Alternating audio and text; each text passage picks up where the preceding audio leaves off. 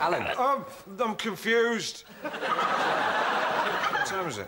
Six o'clock. Uh, how long have we been drinking? Three quarters of an hour. I think I'll um, go to my room and uh, lean on the sink. Uh, I, I have a little bit of sick. Mr. Partridge, that's the kitchens. Yeah, I'm, I'm gonna cook all the food. Alan, this is a hotel. Yeah, three star.